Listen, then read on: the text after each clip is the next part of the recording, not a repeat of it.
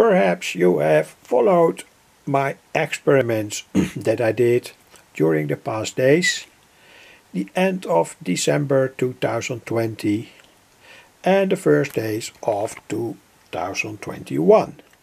I was testing many capacitors, especially electrolytic capacitors. Uh, and there are two videos now on my YouTube channel about the, the circuit with which I try to test them. My test results were, were uh, by the way very good. And this was that first schematic.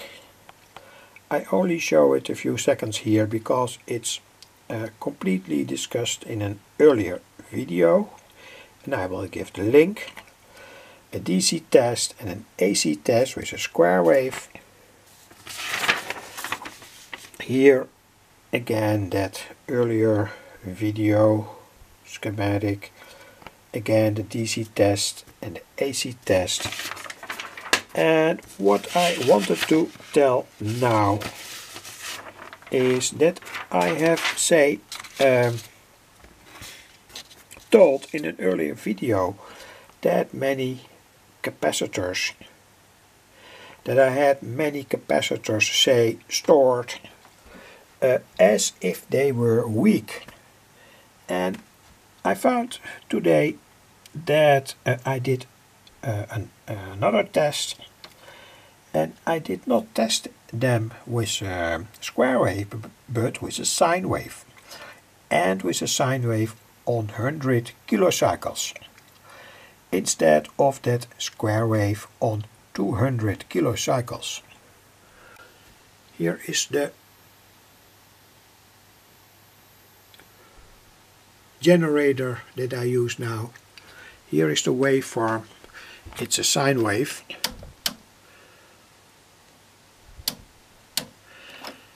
And the interesting thing was that I could test all these capacitors uh, with that sine wave on 100 kilocycles and also found that for instance these very very old capacitors they were um, from the 1970s, I'm absolutely sure,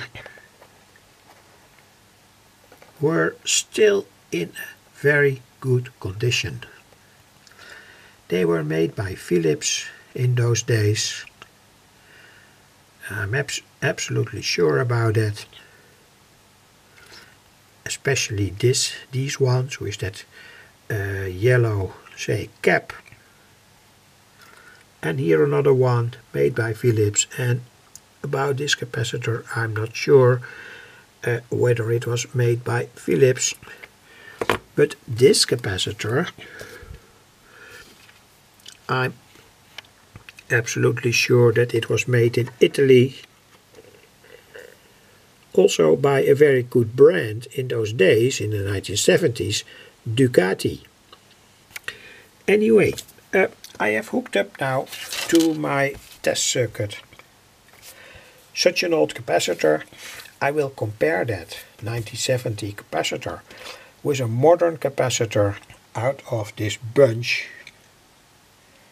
So let's see. Uh, at first always the DC test. Uh, the DC test shows us that it is still a capacitor. It has, uh, say, the behavior of two plates and um, a dielectric material in between etc. So when you do the DC test it's charged, you can see that the charge falls back and then the AC test but now on 100 kc and with a sine wave. Let's look here. That sine wave falls back to a very low uh, value. And I tested approximately 80 capacitors in this way.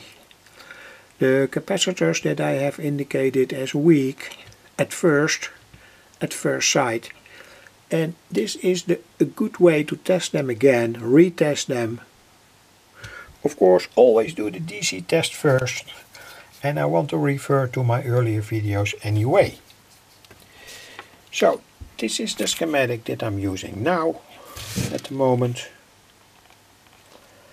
100 kc sine wave generator, uh, scope, test button, the 10 microfarad capacitor and when the voltage drops from say to 7 from 7 volts to 0.2 volts my idea is that the capacitor is okay because I've tested approximately 80 capacitors and they all show that same effect. And uh, when that voltage is too high so you see a too high um, um, sine wave on the screen of the scope uh, there is a higher voltage drop parallel to that electrolytic. And that means that the ESR so the resistance in this case AC resistance on 100 kilocycles could be a little bit too high. You can decide for yourself, uh, this is by the way, say, uh, the waveform that I always find on 100 kc in this schematic. Uh, say almost all the 80 capacitors of 10 microfarad that I tested and also with other values anyway. That must be an indication that that capacitor is okay. So let's, uh, I've tested first this one from Philips 10 microfarad 16 volts. And I'm going to test now a modern capacitor uh, 16 volts 10 microfarad that's here. Hook it up to the test unit. Take some time of course. And let's see what happens uh, with this modern say uh, five years ago bought five years ago so it's a fresh electrolytic capacitor of 10 microfarad. And again the waveform here. At first we do the DC test. That's good. And now we test it on 100 kc and we see that sine wave that dropped down from 7 volts approximately to a very low value of 0.2 volts. So this capacitor, this fresh capacitor of the 2000s has exactly the same test result as this old capacitor of the 1970s made by Philips. That's revealing, in my opinion. They made very, very good capacitors, electrolytic capacitors in those days. And the physical dimensions are also quite big here compared to such a capacitor or this capacitor. They are very small.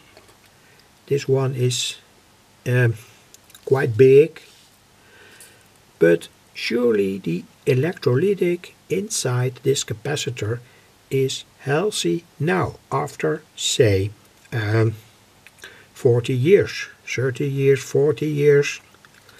Still a healthy electrolytic. So no drying out, etc. etc. So uh, very high quality. That's my idea. Anyway tested them all. They all show good on the meter. They all are 10 microfarad. Here's a bunch of, say, um, 33 microfarad capacitors that still have to be tested. And here 4.7 microfarad that also have to be tested. They have undergone the first test on the square wave and also these ones and I'm going to retest them anyway. that was all more or less that I wanted to tell. So it's it's possible to test uh, these capacitors also with a sine wave. On say 100 kilohertz I had to set the generator to a certain frequency where uh, this uh, effect popped up